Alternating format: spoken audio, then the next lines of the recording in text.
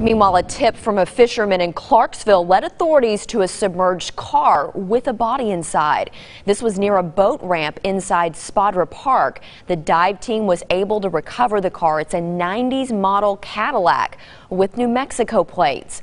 Police say the car was owned by a person who went missing nearly two decades ago in 2002. The state crime lab is now working to identify the remains. Of course, we'll keep you updated on that.